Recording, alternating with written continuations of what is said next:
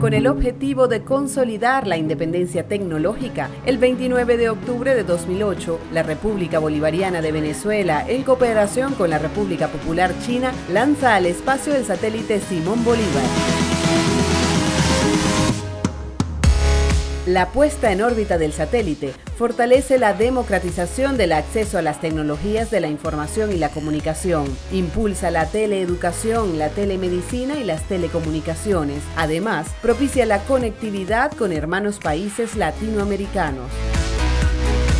En septiembre de 2012, Venezuela lanza al espacio el satélite Miranda, capacitado para capturar más de 300 imágenes diarias del territorio, lo que constituye un valor estratégico para la nación.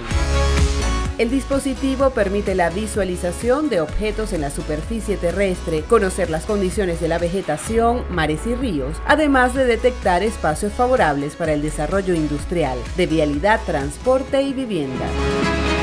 Venezuela conquista el espacio para consolidar una nación libre, soberana e independiente, posicionándose como potencia tecnológica suramericana.